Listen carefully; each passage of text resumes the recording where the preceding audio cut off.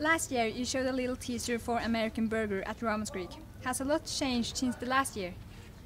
It's been really great that we managed to take the notes that we got from the Satchel Film Festival, which was brilliant, people's reactions, and we managed to incorporate that into the film and to finally finish it, which is brilliant. and we so wanted to bring it back here. And uh, this is two of your actors. Was it difficult to find the right actors? Very. Especially both of them got interesting stories because um, Ben didn't even audition for me.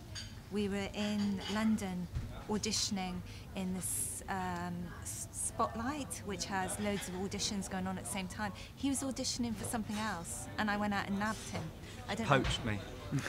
Which you're not. I don't think you're supposed to do. Probably not. Probably no. not. No. So I sort of grabbed him and said, "Please audition for me afterwards." And he actually auditioned for a jock and ended up with the part of the nerd. and Charlie was in Stockholm, and he also came in as a jock.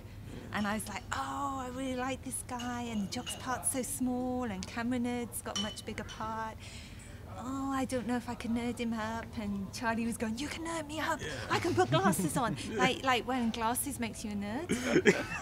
yeah. Clark Kent and Superman. Yeah. Yeah, yeah, yeah. Yeah, it was funny. and for you two, what was the most difficult about playing in American Burger? It wasn't me, was it?